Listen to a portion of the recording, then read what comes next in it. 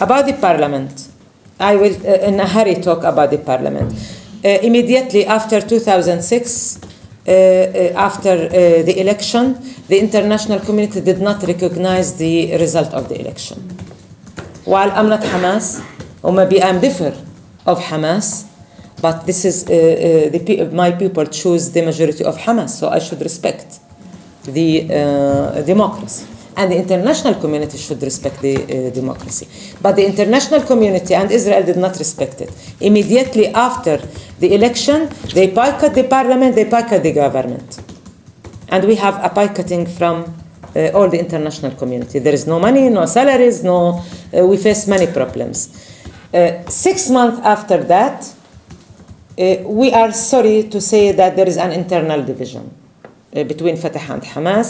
Uh, Hamas uh, using the uh, military way in uh, ruling Gaza, which is, is not accepted, but uh, also this continue and the internal division uh, increase and increase because from my point of view both of them are working for their interest not for the people palestinian people interest and we are criticizing always this internal division but at the end we are all under occupation and we should work together as a palestinian people uh, so we try now uh, to have a popular movement to pressure both sides to uh, be united uh, be, be, without uni- unity we can do an election without uh, uh, نضمن Guarantee.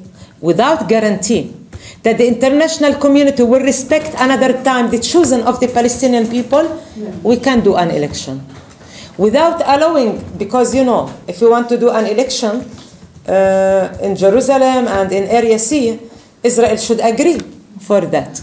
Without, we don't need any interfering, either from the occupation or from the international community of the Palestinian chosen. This is why now we are asking for an election for the National Council, Palestinian National Council, which represent all the Palestinian people, not only inside Palestine but also uh, also abroad. So these we need to guarantee, but we should have an election.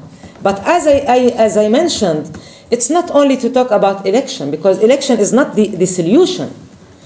If we have an election and we have a result, a new result, and no one respect the result, what does it mean? Did they need an election to uh, their interest, uh, the United States or the international community or the occupation?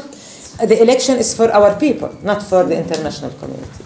So this is why now the parliament is not working as one parliament, but we are working as a group as a group uh, of parliamentarians. For example, we have a general meeting for the parliamentarian, of course, in the West Bank because we can't go to Gaza. Gaza can't come to here, so we can't do uh, a, a one uh, a one parliament sitting. Sometimes we use the video conference to talk to each other as a parliamentarian. So it's not a, a, a real parliament who's func- functioning because of these obstacles.